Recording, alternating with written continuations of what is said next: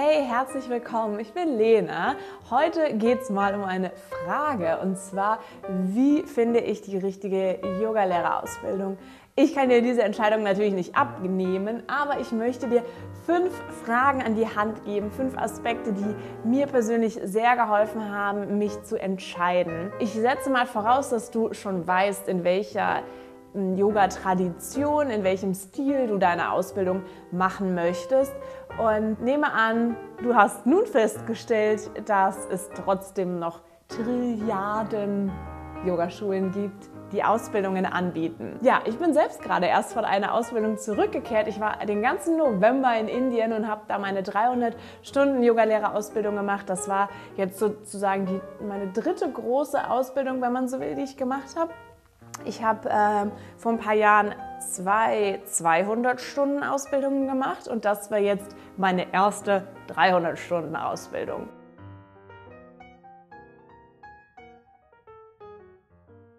Die erste Frage und wie ich finde die wichtigste Frage, die du dir stellen solltest, ist, was liebst du an Yoga?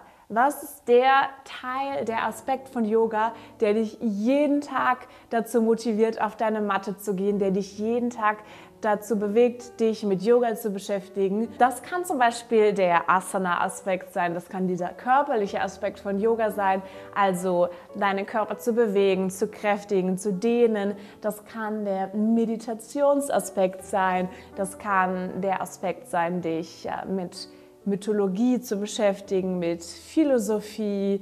Das kann der Aspekt der Community, der Gemeinschaft sein. Vielleicht interessierst du dich in erster Linie für Energiearbeit. Vielleicht bist du zu Yoga gekommen, weil du dich für den Aspekt der persönlichen Weiterentwicklung interessierst. Ja, es gibt so, so viele Aspekte von Yoga. Und die wichtigste Frage meiner Meinung nach ist die erste wichtige Frage welcher dieser Aspekte ist der, der dir am allerwichtigsten ist? Was ist dein, ähm, so dein Herzensteil von Yoga? Wenn du dir diese Frage gestellt hast, empfehle ich dir, bei den Schulen nach den Stundenplänen zu schauen. Manche haben, das auf haben die Stundenpläne auf der Website, bei anderen musst du das nachfragen. Du denkst dir vielleicht, hä, aber Yogalehrerausbildung, die müssen doch das alles abdecken. Klar, ich meine, alles ist Yoga, alles ist ein Teil von Yoga. Und natürlich wird in den meisten Ausbildungen, die sind ja alle Yoga Alliance zertifiziert, das heißt, die müssen bestimmte Bereiche abdecken. Das ist natürlich klar.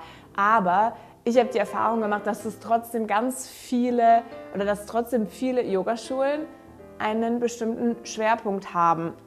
Und sich das vorher bewusst zu machen, ist wichtig und auch sich zu überlegen, welche, welcher Schwerpunkt, welcher Teil von Yoga äh, ist der, der mir am wichtigsten ist. Und äh, genau, wie gesagt, also du kannst die Schulen anschreiben, du kannst auf deren Website schauen, wie die Stundenpläne sind. Wenn du schon siehst, äh, jeden Tag siebenmal die Woche Anatomie und äh, Du bist aber eher jemand, der sich für Meditation und Pranayama interessiert. Dann ähm, müsstest du vielleicht noch mal woanders schauen. Was ich sagen will, ist einfach, mach dir bewusst, was dein Herzensthema ähm, bei Yoga ist und schau nach Schulen, die dieses Herzensthema als Schwerpunkt haben. Meistens finde ich, kann man auch schon, wenn man auf die Website von den Schulen geht und sich die Texte über diese Ausbildungen anschaut, kann man schon ganz gut erkennen, ist das ein ganzheitlicher Yoga-Ansatz, ist das ein eher physisch orientierter äh, Yoga-Ansatz, ist das ein sehr spiritueller Ansatz. Äh, ja, das äh, würde ich auf jeden Fall empfehlen, da genau hinzuschauen. Die zweite Frage, die du dir stellen solltest, meiner Meinung nach, ist, welche Lehrer und Lehrerinnen inspirieren dich? Das kann äh, die Yogalehrerin sein aus deinem Yogastudio in der Nachbarschaft. Das kann äh, auch meinetwegen ein großer Guru sein einer Yoga-Tradition. Das können ganz viele unterschiedliche Lehrer sein. Ich sage das einfach, weil die Lehre einer Ausbildung machen sehr viel aus. Und es ist, finde ich, wichtig, sich vorher klar zu werden, was man an einem Lehrer, an einer Lehrerin mag, welche Art zu unterrichten, welche Art Yoga weiterzugeben, diejenige ist, die man irgendwie für richtig hält oder die einem selbst entspricht. Und ich würde daher immer vorher die Lehrer, die ich toll finde, nach ihren Lehrern fragen, nach ihren Empfehlungen. Was jetzt natürlich noch wichtig ist, unabhängig davon, in welcher Tradition die unterrichten, ist einfach, was haben die für eine Energie? Ja, mach dir das bewusst, wenn du auf deren Websites gehst, wenn du siehst, was sie für Instagram-Accounts haben oder überhaupt in den sozialen Medien, wenn du Texte von denen liest, wenn du Bilder von denen anschaust. Ich meine, all das hat irgendwie eine Energie. Das, das, ich finde, das spürt man dann auch, ob man mh, womöglich mit denen resoniert, ob die äh, einen ansprechen, nicht im Sinne von, hm, das finde ich ansprechend, sondern eher im Sinne von, kann ich damit was anfangen? Ist das äh, was, was ich, was ich gut verstehe? Wenn die was sagen, das dann, dann denke ich, ah, wow, ja, ich weiß genau, was du meinst. Oder ist das, dass man eher so denkt, hä? Äh, nee. Also, ihr wisst, was ich meine. Beschäftigt euch mit den Lehrern, mit euren Lehrern und mit den Lehrern der Ausbildung und schaut dann, ob das womöglich passen könnte. Punkt Nummer drei ist, wann ist der richtige Zeitpunkt? Das ist eine ähm, Frage, die so ein bisschen zusammenkommt mit der Frage, ist es vielleicht noch zu früh für mich, eine Yogalehrerausbildung zu machen? Und äh, ich würde mich an einer Stelle in diesem Zusammenhang fragen, was ist die Motivation für eine Yogalehrerausbildung? Also möchte ich eine Ausbildung machen, weil ich denke, dass es richtig lässig ist, Yogalehrerin zu sein und weil ich durch die Welt jetten möchte und auf Bali und Costa Rica ähm, luxuriöse Yoga-Retreats anbieten möchte. Oder ja, dass ich spüre, dass ich so ein großes Interesse daran habe, Yoga als Ganzes zu erforschen, zu studieren, ähm, einzutauchen in dieses Universum, bereit dazu bin, mich mit mir selbst auseinanderzusetzen, mir womöglich die großen Fragen des Lebens zu stellen. Dabei merkst du vielleicht schon, ist es meiner Meinung nach zumindest völlig irrelevant, ob du in diesem Asana-Bereich, in diesem physischen Bereich fortgeschritten bist oder nicht. Die Ausbildung, die ich gemacht habe, da sieht man, da sieht man so viele unterschiedliche Leute, die körperlich so eine krasse Yoga-Praxis haben, die aber mit wenig Interesse alle anderen Aspekte des Yogas verfolgen.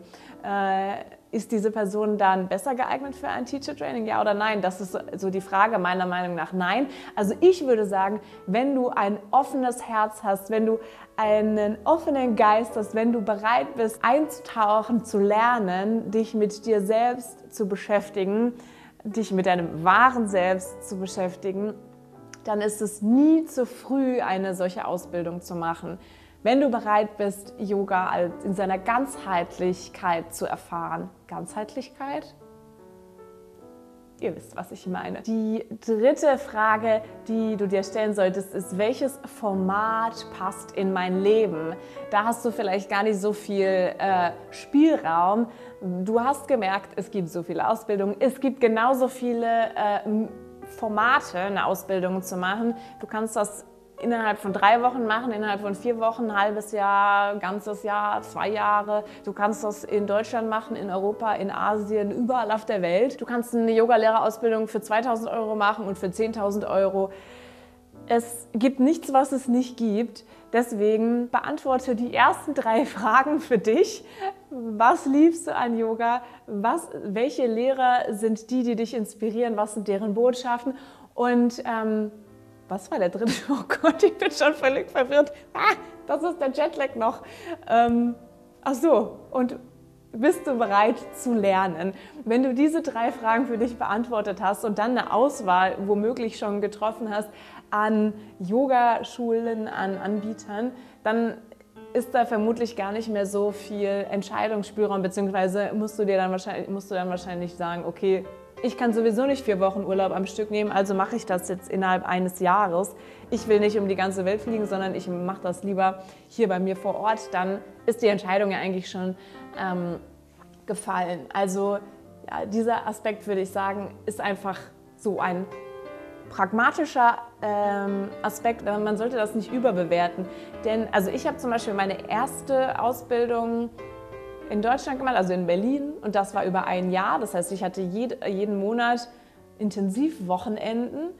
Und äh, das fand ich toll, weil ich, fand, weil ich konnte zwischen diesen Wochenenden alles immer gut verdauen. Ich konnte mir nochmal Gedanken machen, das sacken lassen. Ich bin mit einem Rucksack voller Fragen ins nächste Wochenende gestartet. Diese Intensivausbildungen sind natürlich super, weil du eintauchen kannst in diese Welt. Du kannst äh, das alles in dich aufsaugen. Ja, du kannst halt einfach abschalten und dich einen Monat lang nur Yoga widmen. Alles hat Vor- und Nachteile. Ich würde mich nicht verrückt machen. Es muss einfach in dein Leben passen. Ne? Das ist, würde ich sagen, das Wichtigste. Wir kommen zum letzten Punkt. Und der letzte Punkt heißt, mach dich frei von deinen Erwartungen. Das ist auch ein Learning, eine Erkenntnis, die ich jetzt hatte nach meinem aktuellen Yoga Teacher Training, ähm, weil es eigentlich nicht so war, wie ich das mir vorgestellt hatte. Und ich war erst ein bisschen enttäuscht. Mittlerweile, ich bin jetzt eine Woche wieder da, habe ich das Gefühl, es war genau das Richtige, genau zum richtigen Zeitpunkt, auch wenn ich mir das vorher nicht so gedacht hätte. Mein Rat wäre, einfach gut zu recherchieren, diese Fragen für dich einfach durchzugehen, eine Entscheidung zu treffen, von der du denkst, okay, das ist das ist sicher eine gute Entscheidung. Ich habe nach bestem Wissen und Gewissen recherchiert und mich entschieden und dann ist es auch gut.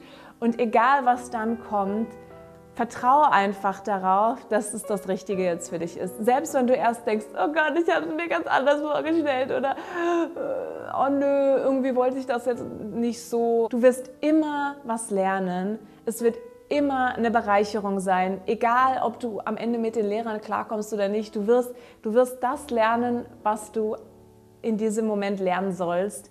Und äh, darauf würde ich einfach vertrauen. Mach dir klar, dass das ein Schritt ist auf deinem Yoga-Weg. Das ist jetzt nicht das Ding. Klar, es ist eine Investition und das ist ein großer Schritt, aber es ist nur ein Teil deines Yoga-Weges. Ja, ich hoffe, dieses Video hat dir gefallen. Ich hoffe, es hat dir was gebracht. Wenn ja, dann gib gerne einen Daumen nach oben und abonniere meinen Kanal.